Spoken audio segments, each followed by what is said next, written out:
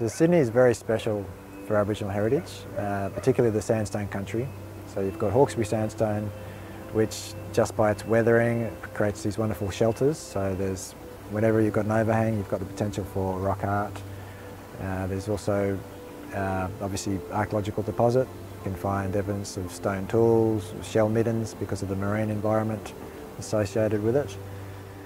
There's, yeah, and, and a shelter also is in a grading landscape. So for the archaeologists, there are areas where the deposit is getting deeper, therefore there's more history buried. So they're really important that way.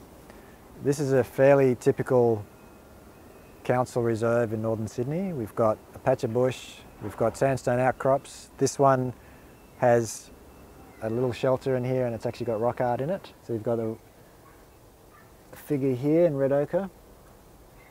You've also got another figure here, it looks like a long tail out the back.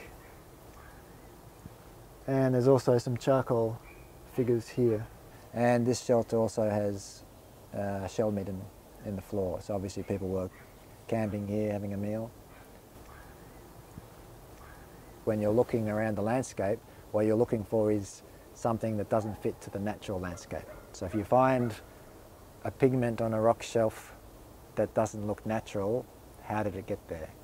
One of the challenges we have in the Sydney area is many sites have already been damaged through past actions. So it could be a sewer line that's gone through, could be a road or a path.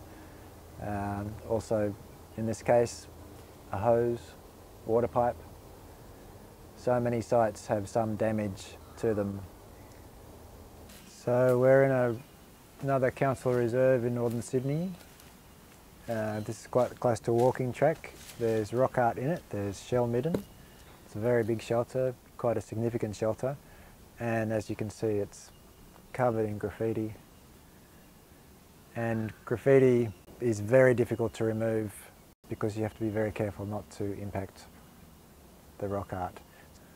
So we have quite a bit of rock art in this shelter. We've got some red ochre images along the top panel and over here we've got some got a few figures in the same panel.